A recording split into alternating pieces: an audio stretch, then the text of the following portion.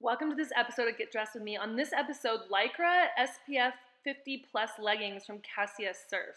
I love these things. They have a really, really cute print. And of course, I hate wearing sunscreen. So this is my option for the beach when I'm going out swimming or stand up paddling or surfing and I don't want to wear a full wetsuit and wear sunscreen, I can wear these guys. I also have it on with the Kassia bikini, which I love. And then here it is with the Gildan um, oversized hoodie. Those first sandals were also a Kassia uh, collaboration with Vans. And then here it is with my Nikes. Um, I love, love, love these leggings. I think the print is super cute. Um, I love everything Kassia is doing. Here it is with a Liz Olco bomber jacket.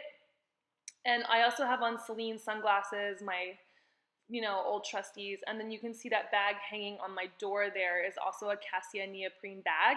This is with an old vintage t-shirt, a Levi's classic trucker jacket, and my Stetson and some um, vintage boots from Dustin Fogg that I love.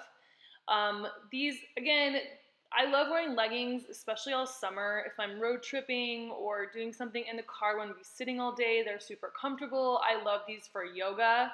Um, here they are with the bleach dipped uh, flannel that I created myself.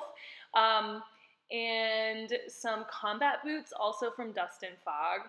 I love this kind of vibe. And this is with the vintage Harley jacket that I also found at Dustin Fogg, 70s vintage Harley.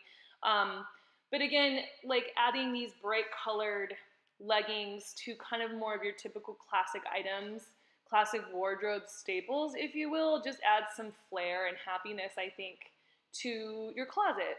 So I also love something like this that's kind of seen as more maybe hippie or very kind of athleisure um, style legging and putting it with like a button down shirt like this one, a nice blazer, and some high Manolo heels like these from Saks Fifth Avenue. And you know, you can really dress these up and it just adds some bright fun and a little bit of surfing vibes. That's it for this episode. See you in the next episode.